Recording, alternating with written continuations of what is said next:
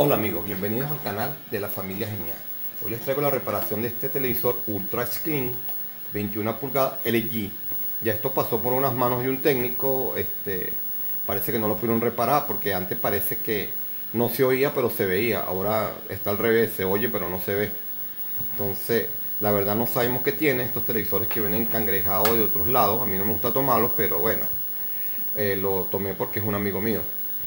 Eh, lo que sí les quiero pedir, es que si les gusta el video, que se suscriban a nuestro canal, que nos ayuden con un like, que de verdad que nos ayuda muchísimo y no les vamos a cobrar nada por eso. Este, también les voy a pedir que se unan a mi canal de, Telegram y a mi canal de, Facebook, ¿verdad? Que a través de, eh, de Facebook vamos a hacer un grupo, o estamos ya haciendo los enlaces para que hacer un grupo de contacto de familia genial en electrónica para que todos puedan intervenir allí y todos nos podamos dar la respuesta y ayudarnos mutuamente por medio de esa red. De verdad que es un placer, de verdad, trabajar con ustedes y espero de verdad que nos regalen un like, como les dije antes, que se suscriban a nuestro canal, que nos accionen la campanita para nuevas notificaciones y que pasen por la descripción de este video. Sin más nada que decir, vamos a la reparación de este cangrejo. Ok amigos, aquí tengo el televisor ya desarmado por la parte trasera. Este es el LG eh, que tenemos de 21 pulgadas. Yo lo primero que reviso siempre en estos televisores es el voltaje de la pantalla y el filamento de la pantalla. Por ejemplo, aquí vamos a revisar primero que nada el filamento para saber si tiene corriente. Antes de empezar a medir cualquier otra cosa. Y como ustedes se están dando cuenta, aquí se dan cuenta, no está encendiendo el filamento. ¿Qué está pasando allí? Hay dos posibles alternativas. O no le está llegando corriente por el filamento, ¿verdad? Por el cable que va, que trae la corriente del flyback hacia el filamento, o el filamento está partido de la pantalla y ya la pantalla no sirve. ¿Qué es lo que vamos a hacer? Vamos a medir primero el filamento, ¿verdad? A revisar el filamento. Así ustedes los que no saben aprenden cómo se revisa el filamento de la pantalla y este, revisamos después la corriente que alimenta el filamento de la pantalla. ¿Qué vamos a hacer? ¿Cuál es el procedimiento? El procedimiento es el siguiente. Vamos a desmontar el snorkel, ¿verdad? Sacamos el snorkel y medimos los pines de la pantalla. Como ustedes saben, la pantalla es una especie de bombillo. ¿Me entiendes? Ya yo he explicado otras veces qué es la pantalla, aunque eh, dentro de poco voy a sacar unos cortos sobre todo, todo estos tipos de equipos de, cómo funciona cada uno de ellos. En este caso, esta es la pantalla y tiene un filamento. Ese filamento viene siendo en todas las pantallas que yo he conocido, viene el, el 3 y el 4. En todas las pantallas, televisores pequeños, blanco y negro y televisores grandes, todos los he revisado y todos tienen el mismo eh, número de filamento, en el 3 y el 4. No sé si habrá otros con otro lado, pero yo las he revisado siempre así. ¿Qué vamos a hacer? Vamos a poner el tester en continuidad. Y aquí nos debería sonar un pitico. ¿Verdad? En, el, en, el, en la pata 3, en el pin 3 y en el pin 4 debería sonar un pitico. ¿Qué quiere decir? Que el filamento está bueno.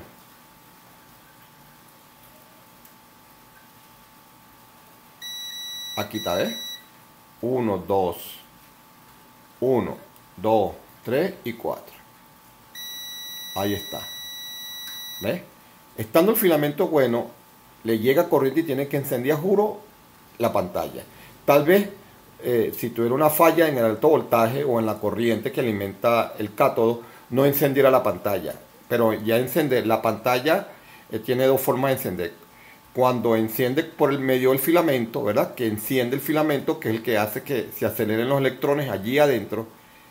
Eh, es, como les dije, luego les explico en otra clase esto.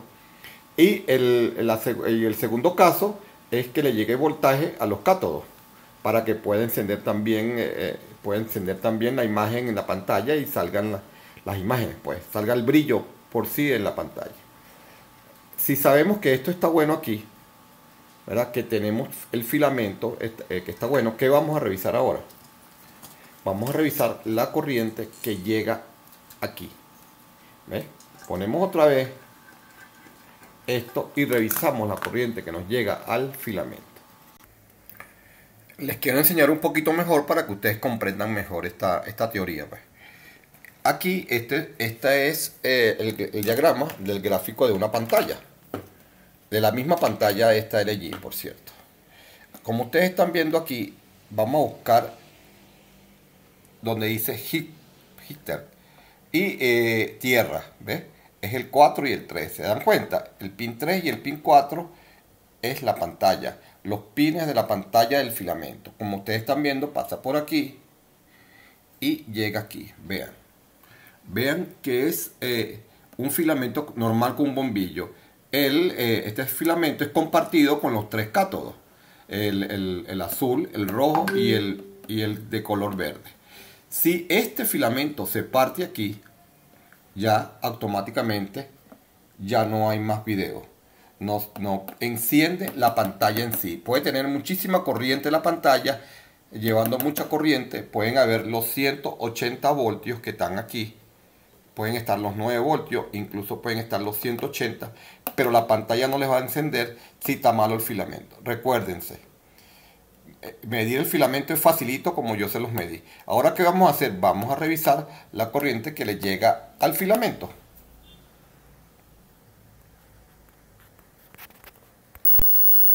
Ok, ahora vamos a revisar el voltaje que le llega a la pantalla. El voltaje que le llega a la pantalla siempre hay que medirlo, siempre hay que medirlo en corriente alterna, AC. ¿Por qué en corriente alterna? Porque recuerden que ese viene del flyback, el, el voltaje que le llega a la pantalla viene a través de una bobina que está en el flyback. Uno es, uno es un embobinado y ese embobinado viene con un voltaje específico de 6 voltios, 5 voltios, algunas vienen de 7 voltios, dependiendo la pantalla. La más grande que yo he visto llega a 6 voltios. Siempre están entre el orden de 4 y 5 voltios para prender el filamento. Entonces, ahora vean ustedes. Lo tengo en corriente alterna y pongo el pin alimentación y como ustedes están viendo no hay nada. Es más, marco 1, 2, 3 y 4 los pines, el 3 y el 4 y tampoco tengo nada. Eso quiere decir que el voltaje no está llegando a la pantalla. Entonces, estando seguro de que no está llegando el voltaje a la pantalla, vamos a revisar a ver la resistencia de paso que debe tener este, este circuito y el devanado que viene del flyback, que eso es un circuito muy fácil de, deducir, pues, si está malo o está bueno. Vamos. Ok, este, aquí tenemos el conector por la parte trasera, por la parte de abajo de la corneta de la, de la tarjeta y vamos a ver lo siguiente. Tenemos el tester en continuidad, que suene el bichito, ¿eh? Que suene el pitico. De estos dos conectores que están aquí, donde, donde llegó el conector con tres cables, aquí está el conector. Y aquí hay tres pines. Uno de ellos, de estos dos, porque el otro no va con el, no va con el no va con la corriente. Uno de estos dos es tierra. Entonces, ¿qué hacemos? Ponemos a la tierra original del equipo, que es esta. ¿Verdad? Ahí está. Esta es la tierra original de la tarjeta.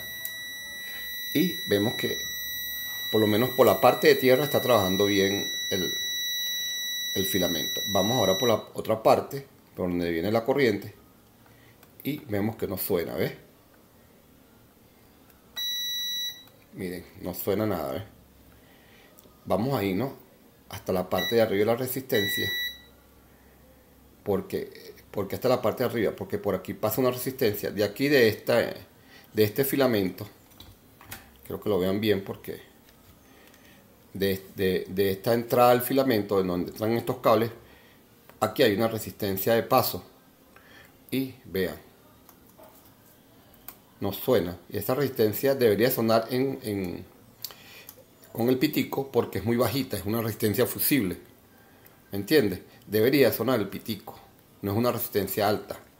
Ahora vamos a probar de aquí, de donde conecta la resistencia a la salida de corriente del flyback, donde está la bobina interna del flyback. Es esta. Seguimos la pista y vemos. ¿Ves? Aparentemente hasta aquí está bien. Y si tocamos, esta vez tocamos el mismo filamento, ¿verdad? que, que no nos sonaba aquí, porque aquí no nos suena, vea, con la tierra. Aquí no nos suena con la tierra, mire. ¿Ves? Pero si lo ponemos arriba, sí nos suena con la tierra. Y nos suenan las dos de paso. Los, dos los dos puntos, vean. Uno y dos.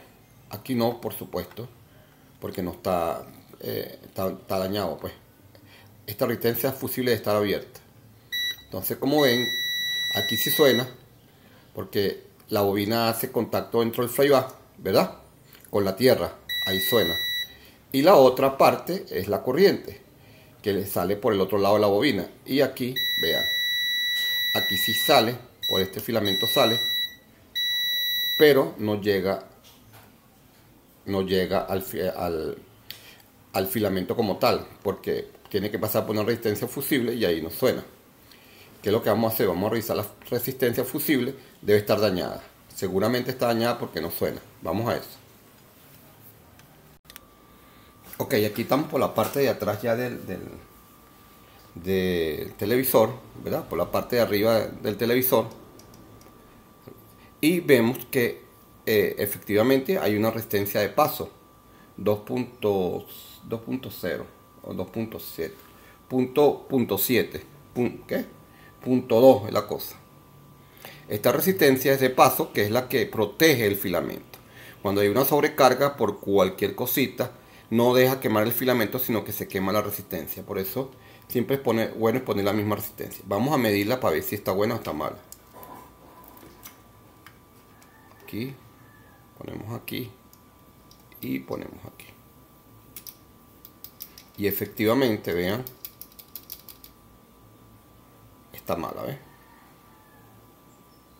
Debería estar, debería estar sonando el pitico. Quiere decir que está mala. ¿Qué vamos a hacer? Vamos a cambiarla y seguramente nuestra pantalla dará otra vez este imagen.